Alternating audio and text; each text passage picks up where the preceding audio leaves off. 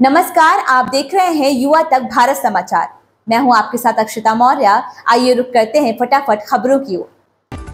पूर्व सांसद डॉक्टर रीता जोशी को ठगने का प्रयास किया गया। पाकिस्तान से कॉल आई व्हाट्सएप कॉल पर साइबर ठग ने पूर्व सांसद से कहा कि आपका बेटा यूएसए में अपराधियों के साथ पकड़ा गया है। ठग ने खुद को सीबीआई अफसर बताया।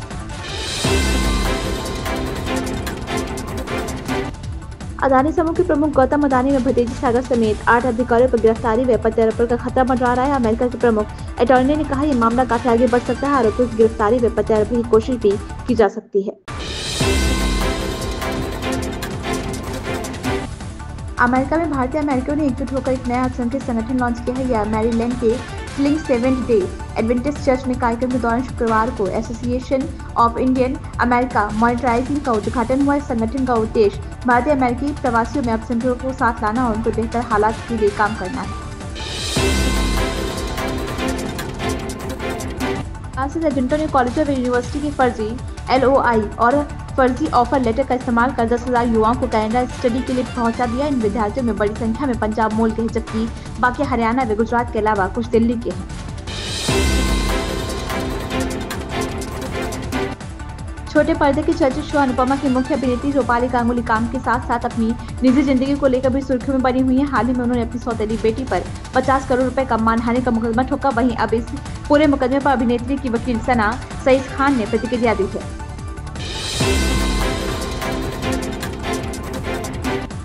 दिल्ली के पर्यावरण मंत्री गोपाल राय ने ग्रेडेड रिस्पॉन्स एक्शन प्लान के चरण चार के कार्यान्वयन को देखने के लिए नेरला सिंह सीमा को रात की निरीक्षण किया ग्रैप चार, दिल्ली पंजीकृत बी एस चार और डीजल संचालित माध्यम, माल वाहनों के संचालन को प्रतिबंधित किया गया।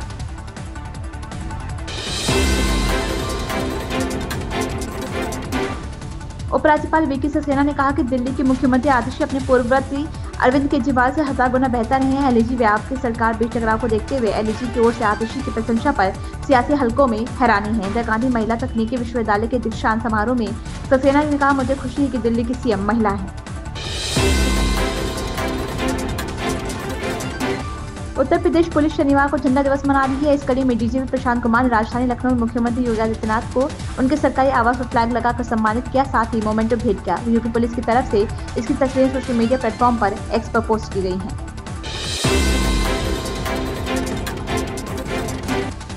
लखनऊ से पाँच रूटों पर वंदे भारत मेट्रो ट्रेनों को चलाया जाएगा। इसमें पहले चरण में कानपुर रोड पर ट्रेन चलेगी। इसके बाद लखनऊ से प्रयागराज, वाराणसी, अयोध्या, गोरखपुर रूटों पर भी मेट्रो की तर्ज पर वंदे भारत मेट्रो ट्रेन चलाई जाएगी। इससे यात्रियों को खासी राहत हो जाएगी।